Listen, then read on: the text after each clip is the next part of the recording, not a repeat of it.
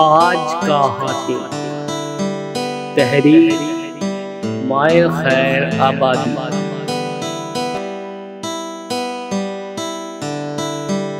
शहर में हर तरफ़ यही बातचीत हो रही थी कि अल्लाह की मसलहत को कोई नहीं समझ सकता। कौन जानता था कि आज के हातिम ने विश्वनाथ के लिए जो कुर्बानी दी और फिर विश्वनाथ ने उसके साथ जो कुछ किया, उसका बदला इस दुनिया में ये मिलेगा। कि सैयद सादिक हुसैन जैसा रईस शख्स किसी दरख्वास्त के बगैर अपने आप आज के हातिम का कफील बन जाएगा। अल्लाह ताला ने दूसरा बदला ये दिया कि सारा शहर आज के हातिम का गर्वेदा हो गया। विश्वनाथ, उसके वालिद, प्रिंसिपल साहब और प्रिंसिपल साहब की बेगम, यानी आज के हातिम की चची ने एक कमरा ख़ास उसके लिए अलग कर दिया था, जिसमें वो विश्वनाथ के साथ बैठकर पढ़ता। प्रिंसिपल साहब ने दिल में तय कर लिया था कि वो तालीम के सिलसिले में हर इतवार को एक घंटा ज़रूर देंगे। और इस साल हातिम को सूबे भर में अव्वल आना है। बाप आसिम साहब की दुआ, सैयद सादिक हुसैन जैसे रईस की सरपरस्ती, प्रिंसिपल साहब की रहनुमाई और हातिम की मेहनत का फल सामने आया। सचमुच वो सारे सूबे में अव्वल नंबर पर आया। यह देखकर सैयद साहब ने उसे अलीगढ़ यूनिवर्सिटी में दाखिला दिला दिया। वहाँ उसे तीन वजीफ़े मिले। तीन हज़ार सालाना का वजीफ़ा यूनिवर्सिटी से मुकर हुआ। सौ रुपये सालाना का वजीफ़ा लियाकत इंटर कॉलेज मुकर किया। और रियासत के शोबा तरक्की तालीम ने दो हज़ार चार सौ रुपये का एजाजी वजीफ़ा मंजूर किया। ये छः हज़ार की याफ्त हुई। तो आसिम हुसैन साहब ने दबे लफ्ज़ों में सैयद सादिक हुसैन साहब से अर्ज़ किया कि ये अल्लाह का फजल हुआ। अब किसी और की इमदाद की ज़रूरत नहीं। ये सुनकर सादिक हुसैन साहब ने आसिम साहब को डांट दिया। हरगिज नहीं, मैं अपना हाथ हातिम की सरपरस्ती से नहीं रोकूँगा। मैं कह चुका हूँ कि हातिम मेरा बेटा है। जब वजीफे उसे मिले हैं, उसको चाहिए कि बैंक में जमा करता रहे। कौन जाने कल सादिक हुसैन ज़िंदा रहेगा या नहीं? इसके जवाब में आसिम साहब कुछ कहना चाहते थे। लेकिन खुदा तो उनकी ज़ुबान से पूरा जुमला भी अदा ना हो सका था कि डाकिया आ गया। आसिम साहब खामोश हो गए। सैयद साहब डाक लेकर देखने लगे। नाक देखते देखते एक लफाफे पर नज़र पड़ी। झट से उसे उठाया, खोला, पढ़ा, फिर आसिम साहब की तरफ़ बढ़ा दिया। ये देखिए, हातिम क्या लिखता है? आसिम साहब खत पढ़ने लगे। आदाब के बाद मजमून ये था कि यहाँ ऑस्ट्रिया की एक क्रिश्चियन लड़की एरना जेर तालीम है। वो नहायत जहीन और मेहनती है। उसके वालिद का इंतकाल ऑस्ट्रिया में हो गया तो बेचारी के लिए रकम आना बंद हो गई। वो तालीम छोड़कर घर जाने वाली थी लेकिन मैंने उससे कह दिया कि तालीम पूरी कर ले। मैं जो वजीफ़ा हर माह पाऊँगा, वो तुमको दे दूँगा। मैं आपसे और अब्बा जान से तो रखता हूँ कि गो मैंने आप दोनों के मशवरे के बगैर ये इकदाम किया है, फिर भी आप दोनों बुज़ुर्ग खुश होंगे और मुझे दुआओं में याद रखेंगे। मैं ये भी उम्मीद करता हूँ कि आप मेरे इस खत के मजमून को आम नहीं करेंगे। मैंने एरना से भी कह दिया है कि वो किसी से ना कहे।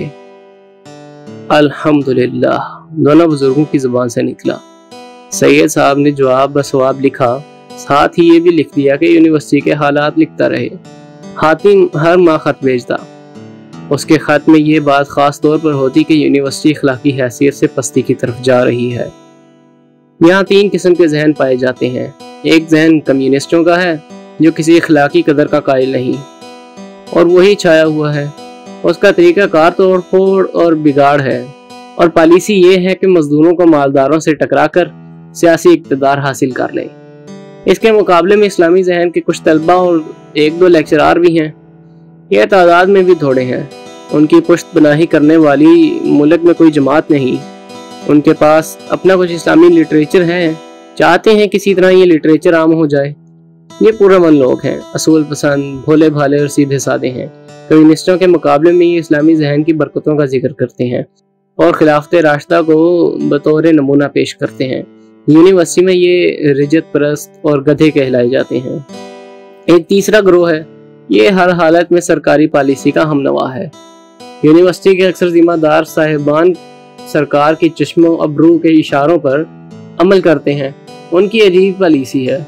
इस्लाम पसंदों के मुकाबले में ये साहिबान कम्युनिस्टों से साजबाज रखते हैं। लेकिन कम्युनिस्टों और सरकार की टक्कर हो ले तो गवर्नमेंट की हाँ में हाँ मिलाते हैं। सैयद साहब ने एक मौके पर आसिम साहब से कहा, मैं चाहता हूँ इसे लिख दूँ कि वो वहाँ तालीम हासिल करने गया है। उसे तालीम के अलावा किसी और शहर से दिलचस्पी ना हो। ठीक है ना आसिम साहब? आसिम साहब ने राय दी कि उसे लिखा जाए, वो इस्लामी जहन रखने वाले ग्रोह से ताउन करे। अगर वहाँ इस्लामी जहन के तलबा ना पैदा हुए तो उसके मुस्लिम यूनिवर्सिटी होने के क्या मानी? और अगर कम्युनिस्ट आ गए हैं तो हमें क्या पड़ी है कि अपने बच्चों को वहाँ भेजें? और बहुत से कॉलेज और यूनिवर्सिटियाँ हैं, मुल्क खुदा तंग नयस्त। सैयद साहब ने एक लंबी सांस भरकर हाँ कही। फिर खत लिखा और उसमें अपनी राय भी लिख दी और आसिम साहब की भी लफाफा बंद किया और पोस्ट कर दिया। दूसरे साल हातिम ने फिर एक कारनामा अंजाम दिया, एरना के लिए। बिल्कुल इसी तरह की कुर्बानी पेश की जैसी उसने विश्वनाथ के लिए की थी। हाँ दोनों कहानियों में कदर फ़र्क महसूस किया जा सकता है। एरना की कहानी यूँ है कि उसे एक सिख लड़के से दिलचस्पी पैदा हो गई। लड़का रईस घराने का था, वो भी एरना की तरफ़ माइल हो गया। लेकिन उसकी शर्त यह थी कि एरना यूनिवर्सिटी में अव्वल आए तो शादी हो सकती है। एरना ने दिल में सोच लिया था कि वह जान तोड़ कोशिश करेगी और इससे शादी करके रहेगी। और इसके लिए अपना मज़हब भी तब्दील करके सिख धर्म कबूल कर लेगी। लेकिन इम्तिहान से दो माह कबल उसको अंदेशा पैदा हो गया कि हातिम उसका रास्ता रोक रहा है। हातिम एरना का मौसिन था। वो उसे पाँच सौ रुपये महाना वजीफे की रकम दे दिया करता था।